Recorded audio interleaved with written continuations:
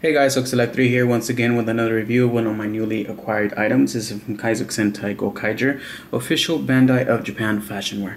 This is from uh, Captain Marvelous belt for cosplaying. Um, this is pretty cool. Actually made out of metal and glass. I guess jewels for it. It has a Gokaiger insignia all over the actual belt. It's pretty cool. So this is perfect actually for cosplaying Captain Marvelous. And I'm actually was happy I was able to get this. These are a little bit pricey stuff to you guys to be honest with you. But um, and also they're no longer available for pre-order.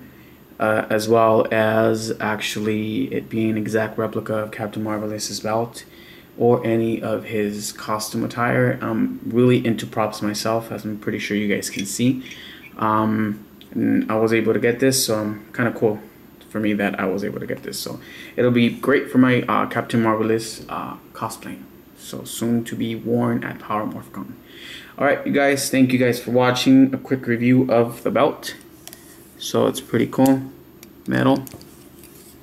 Or actual brass. And really greatly detailed. Alright, thank you guys. You guys take care. Otsillac3 here, signing off.